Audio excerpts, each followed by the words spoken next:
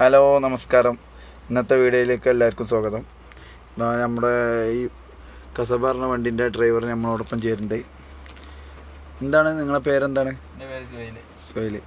എന്താണ് നിങ്ങൾക്ക് ഈ പ്രൈമ ഉപയോഗിച്ച ഉപയോഗിച്ചിട്ട് എന്താണ് നിങ്ങൾക്ക് പറയാനുള്ളത്?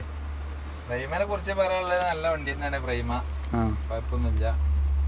പിന്നെ ഭാരത് ബെൻസിന്റെ എഴുത്തേക്ക് ഏകദേശം എത്തിയിട്ടുണ്ട്. ഏകദേശം ആ ഒരു പെർഫോമൻസും കാര്യങ്ങളൊക്കെ വണ്ടിക്കുണ്ട്. പിന്നെ ഡ്രൈവിംഗ് കംഫർട്ട് മറ്റേത് ഭാരത് എയർ സീറ്റും കാര്യങ്ങളൊക്കെയാണ്. ഇതിന് ഇത് കണ്ട ഇത് മഴ ചുപ്പത്തിന് വെള്ളം ചോരുണ്ടിട്ടാ ഇതേ ഗ്യാപ്പ് ഉണ്ട്. അതൊന്ന് ഒന്ന് ഒന്ന് ശരിയാക്കി പോകും അപ്പോൾ പിന്നെ എല്ലാം കൊണ്ട് നോക്കുകയാണെങ്കിൽ മൊത്തത്തിൽ ഭാരത് ബെൻസിനെ അപേക്ഷിച്ച് ഏകദേശം ഭാരത് ഒരു എൺപത് ശതമാനം ഭാരത് ബെൻസിന്റെ അടുത്ത് കണ്ടെത്തും.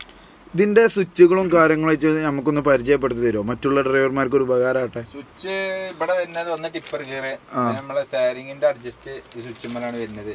പിന്നെ രണ്ട് മൂന്ന് മൂടുണ്ട്. സ്റ്റിയറിംഗിന്റെ അഡ്ജസ്റ്റ് എന്ന് പറഞ്ഞാൽ എങ്ങനെയാണ്? അതായത് ഇവിടെ ഇതിന്റെ താക്കോൽ ഇവിടെ ഉണ്ട്.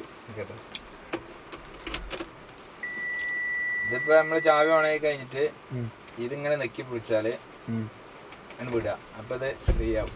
നമ്മളെ കറക്റ്റ് പൊസിഷനിൽ വെച്ചിട്ട് ഇങ്ങനെ പിടിച്ച് നിന്നാൽ ഓട്ടോമാറ്റിക് സെറ്റ് ആവും പണ്ട് കാലത്ത് ആദ്യമൊക്കെ അതാണ് ആ എയറിന്റെ സൗണ്ട് കേട്ടല്ലേ ബി എസ് ത്രീ വണ്ടിക്ക് ആദ്യം ഈ സെറ്റപ്പ് ചെയ്യുന്നു ബെൻസിൽ അതൊക്കെ മാറ്റിപ്പൊക്കെ ലിവറായി പിന്നെയുള്ള മൂന്ന് mode light mode medium mode heavy mode പിന്നെ ബാക്കിലെ വർക്കിംഗ് ലാമിന്റെ വീഡിയോ പിന്നെ നമുക്കൊരു ബ്രേക്കിംഗ് സിസ്റ്റം വരുന്നുണ്ട് ഇതിന്.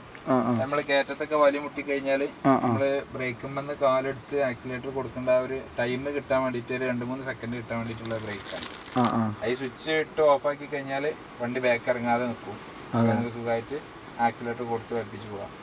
പിന്നെ ഉള്ളത്തുള്ള ലാമ്പിന്റെ സ്വിച്ച് പിന്നെ ആക്സിൽ ലോക്ക് പിന്നെ സാധാരണ വണ്ടി ഓടിക്കുന്നവർക്കൊക്കെ അറിയാം. പിന്നെ ഗിയർ സാധാ പോലെ പത്ത് ഗിയർ പിന്നെ പിന്നെ ഫ്രണ്ട് ഗിയർ ഒമ്പെണ്ണം പിന്നെ രണ്ടും ഗിയർ എട്ടെണ്ണം പിന്നെ ഒന്ന് പിന്നെ ഇത് എന്താ പറയുക ഐ ഗിയർ പോലെ. ഒന്ന് റിവേഴ്സ് പിന്നെ ഇത് ആൻഡ്രൈക്ക് പിന്നെ ഇതൊക്കെ നമ്മൾ അഡീഷണൽ ചെയ്താണ്. ചാർജറും ഈ സെറ്റും കാര്യങ്ങളൊക്കെ ഇതൊക്കെ കമ്പനി അഡീഷണൽ ചെയ്താണ് കമ്പനി വരുന്നതല്ല. കമ്പനി വരും എന്നാണ് പോലോട് ചോദിക്കുമ്പോൾ പറയുന്നത് ഇങ്ങനെ ഈ സെറ്റപ്പിൽ തന്നെ കമ്പനി ഇറക്കുണ്ടായിരിക്കാൻ അധികം വൈകാതെ. മിറർ ഒക്കെ പിന്നെ മിററൊക്കെ നമ്മൾ അഡീഷണൽ ചെയ്താണ്. പിന്നെ ഇവിടക്കൊക്കെ നോക്കുമ്പോ റേഡിയോ മാതിരിയാണ് പഴയ കാലത്തെ റേഡിയോ മാതിരിയാണ്.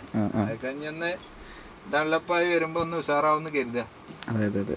പിന്നെ അത് ടിപ്പറുമായിട്ട് ബന്ധപ്പെട്ട കാര്യങ്ങളാണ് ടിപ്പർ ഇവിടെയാണ് ടിപ്പർ ഗിയറിന്റെ ഒരു ഗിയർ ഇവിടെ ഉണ്ട് ഇവിടെ ഇട്ട് കഴിഞ്ഞാൽ പി ടി ഓൺ ആക്കുക പി ടി ഓൺ ആക്കുക പി ടി ഓൺ ആക്കി കഴിഞ്ഞാൽ ഇവിടെ ചെറിയ പി ടി ഗിയർ വേറെ ഉണ്ട് പിന്നെ അത് പഴയ തന്നെ മാറ്റം വരുത്തി.